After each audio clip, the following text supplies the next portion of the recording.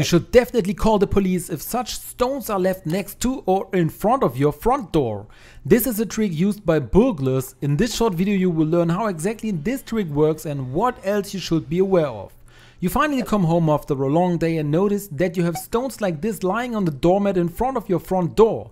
But it could also be somewhere else. It could also be somewhere next to the front door or even right in front of the front door. In any case, you should pay attention to them if you did not put them there yourself.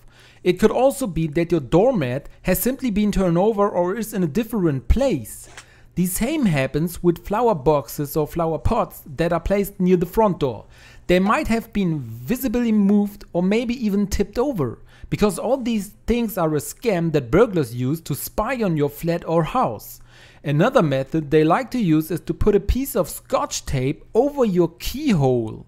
These are all things that you will notice when you return home. The burglars use this to make sure that they know exactly when you are home and when you are not so they can spy on you because all these are things that you will change immediately when you come home. So if you notice that someone is placing such stones in front of your door or maybe in front of your neighbors or changing other things you should call the police immediately.